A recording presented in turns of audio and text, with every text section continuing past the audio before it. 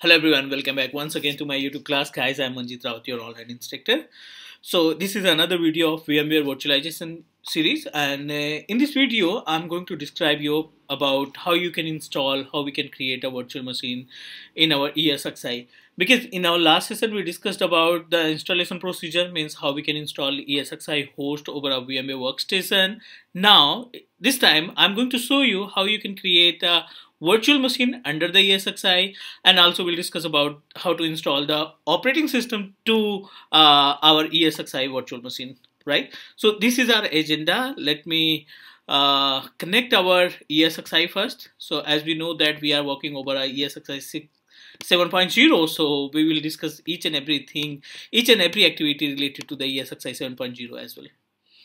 So uh, one more important thing. Uh, if you're new on my youtube channel if you're watching my video first time so you can subscribe my teach me cloud youtube channel because teach me cloud youtube channel is a single youtube channel that give you 100% live practical without any gap or without skipping any uh, step so if you want to be a perfect, uh, if you want to be expert in virtualization, cloud computing, or server operating system, so I have already created multiple list playlist related to different different technologies. So you just need to uh, click on the playlist and find the playlist as per your requirement.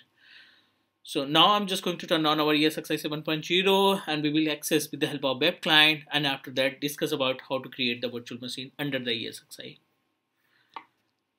Okay.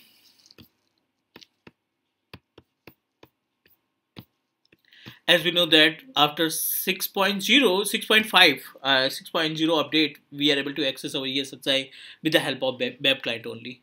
So we have already discussed about the way to connect our ESXi we have a vSphere client we have a web client PuTTY terminal DCUI so a number of options are available to make a connection to access our ESXi host. But this time uh, we need to understand about the option which is uh, available in web client only because we want to manage entire services with the help of GUI. So that's why we must need to connect using the web client or vSphere client. So we are using 7.0, so that's why we are unable to access our 7.0 ESXi with the help of vSphere. So that's why we need to connect with the help of web client only. It gives you the complete information. I'm using 7.5 gig of memory RAM capacity for this ESXi and about the storage I think uh, we installed ESXi using 60 gig of hard drive. Now we are, we are getting a one IP address which is provided my Wi-Fi router means you, you we are getting IP address from dynamically means with the help of DHCP service. 192.168.1.8 I'm going to access the same machine same IP address over a browser. 1.8 okay we don't have any SSL certificate so that's why I need to proceed with the unsafe and uh, by default username as we know that you must need to use root and provide the password that you used while installation of uh, ESXi host. Now we successfully open our virtual machine. We are we successfully open our uh, ESXi panel in GUI format using the base, web client. And now I'm going to show you how you can create the virtual machine. It's really simple step that you need to use, but uh, uh we need to uh, add few things like as a, we must need to add at least one storage because currently we don't have any storage. We are unable to find any storage services. So now if you plan to create virtual machine what you need to do just need to click on virtual machine create uh, create and register.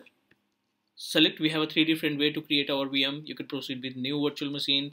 Create your VM with the help of OVF or OVA virtual file it's a kind of template. You can say that OVA and OVF both are uh, types of templates. We will discuss more about it.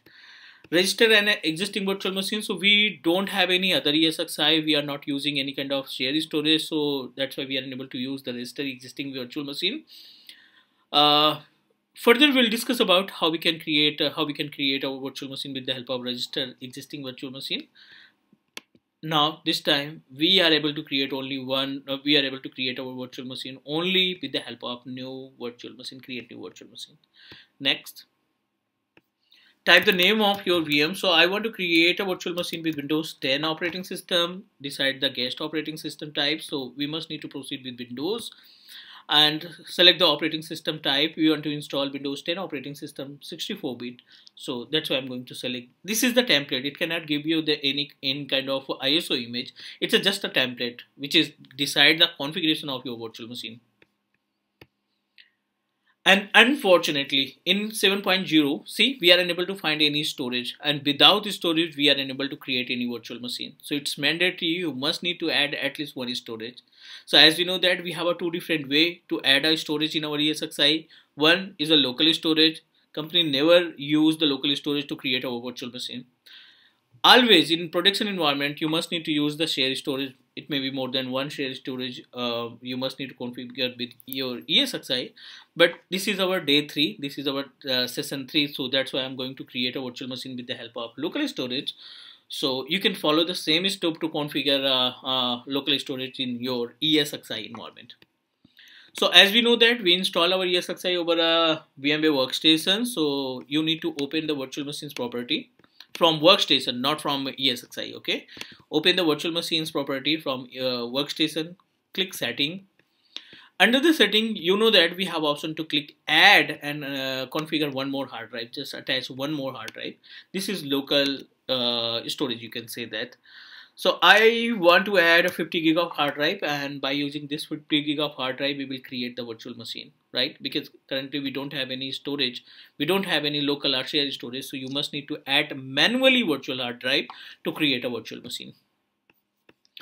Fine fine. So uh, I think maybe it may be required to restart our ESXi host. Let me try to check it. If we are able to find our storage account so then okay. Otherwise we need to restart because it will take time to uh, highlight our uh, virtual hard drive in our ESXi panel. I'm going to click on new data store VMFS because we are using the local storage so that's why I need to proceed with VMSS VMFS we haven't any space. We don't have any storage account. We don't have any storage data center which is connected with ESXi so what you need to do you need to back uh, just need to uh, restart your ESXi because we successfully added 150 gig of hard drive but unfortunately we are unable to get the information in the GUI panel so what you need to do you just need to restart your ESXi and try to access your web client again and try to connect your uh, local storage right?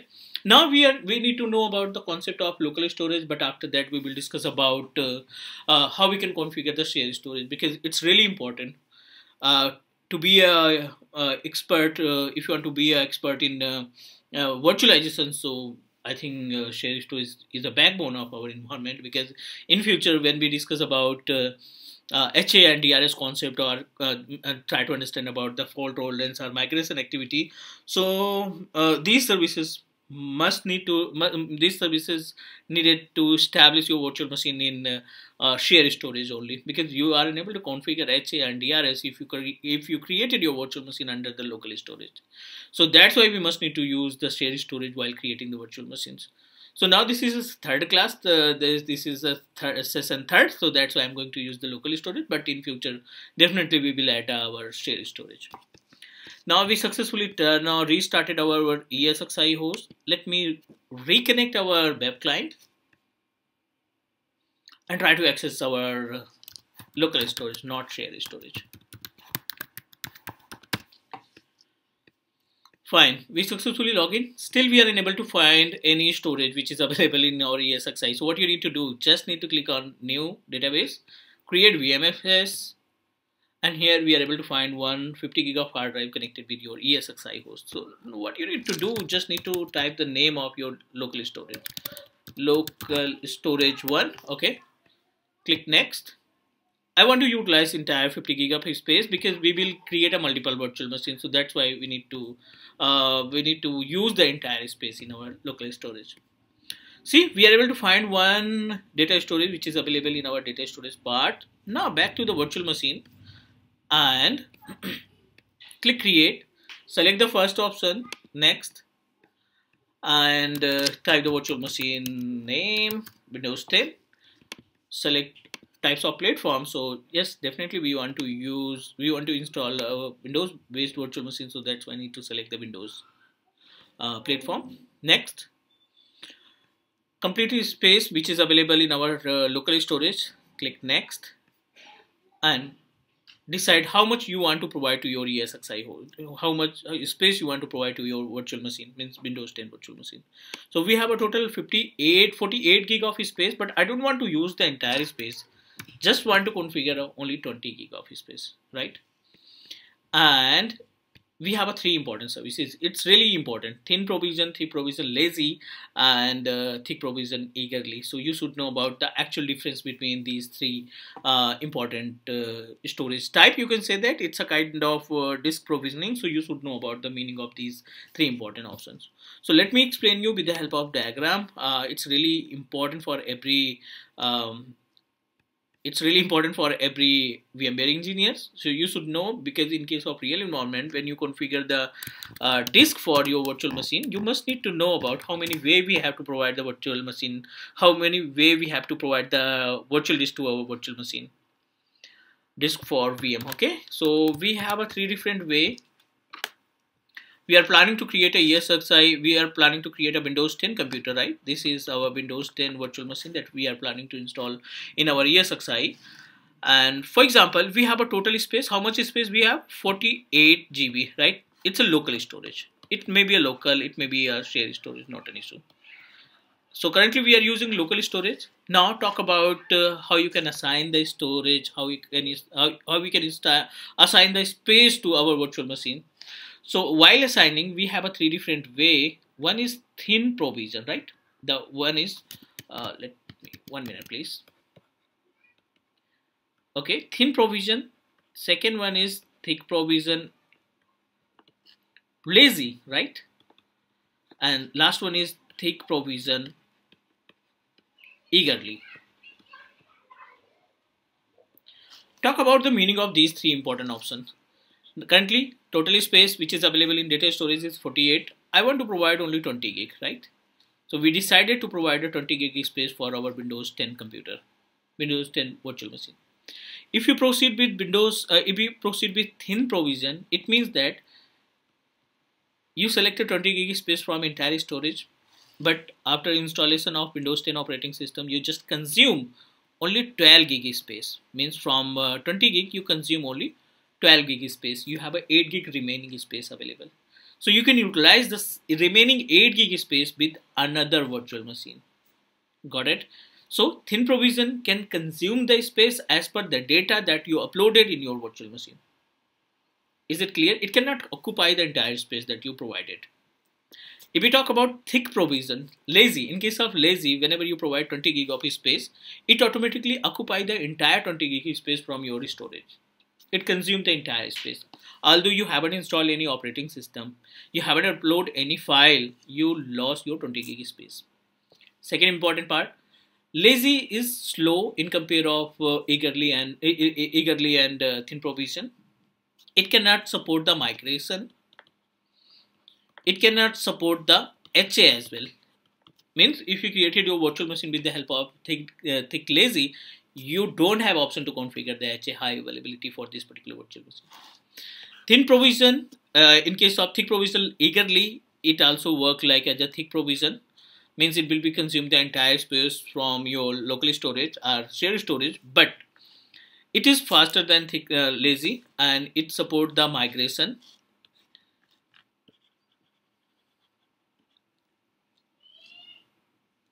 and uh, you can say that uh, it can support the migration. And it can support the HA as well. Right? It it, it, it support the all types of uh, services. Means uh, thin and thick can support the migration and HA so I hope you understand about the difference between thick lazy thin and thick lazy and eagerly. Now back to the uh, our web page I'm going to create this VM by choosing the option of thin provision because I we want to uh, uh, we want to uh, utilize our space with multiple virtual machines. So that's why I'm going to proceed with thin provision. Okay. Next, no need to do anything. Just need to click finish.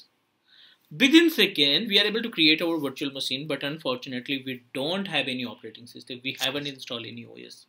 This is our blank operating blank virtual machine. Means now I'm just going to turn on it it will uh, inform you you don't have an operating system so you need to provide the at least one operating system means we need to install one operating system to this particular virtual machine. Okay not an issue. Right click on VM and console I want to open it to new wizard but unfortunately you know that we don't have any operating system. So what you need to do you need to boot your operating system. You need to boot your virtual machine from uh, any database file or you can also use the external storage external device. So what you need to do just need to click action go to the edit option and under the edit option you will be find the option related to the ISO select CD DVD and you must need to proceed with data store ISO select. And uh, unfortunately we don't have we don't have any ISO image. So what you need to do you need to upload at least one ISO image uh, in our local storage. So I'm just going to upload it from uh, my external storage. Let me connect my external hard drive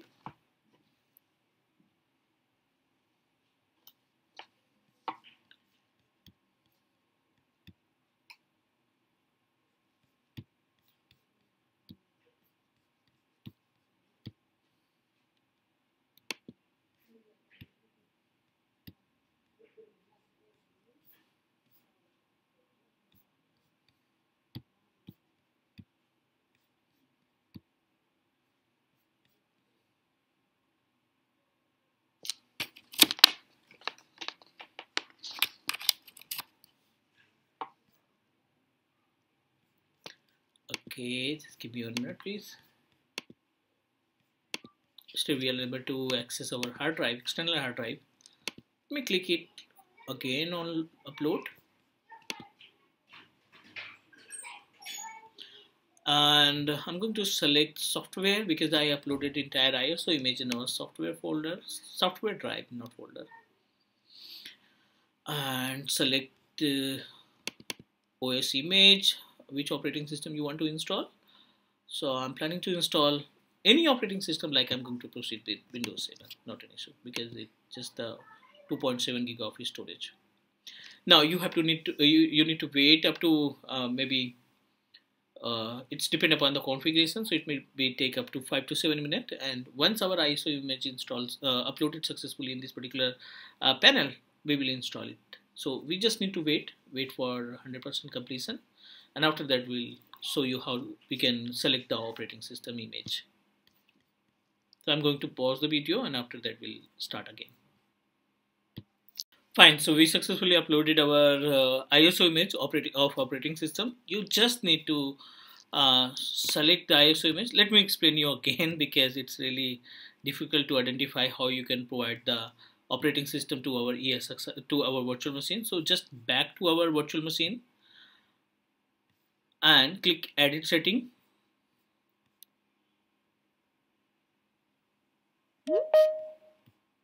And we just need to click on CD and DVD select data storage ISO file. So we have already uploaded one ISO image of Windows 7 operating system. Need to provide the information need to provide need to select your uh, operating system and click save. Back to the virtual machine and restart it again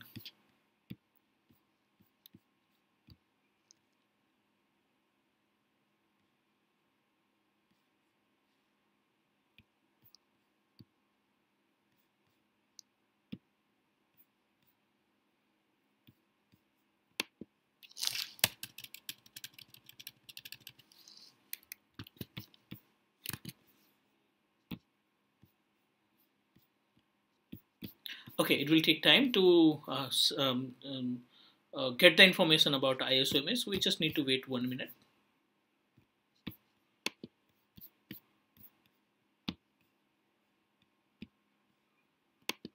Okay, so our virtual machine successfully selected the ISO image and you need to follow the basic step to install operating system in your, our uh, virtual machine that we created on ESXi.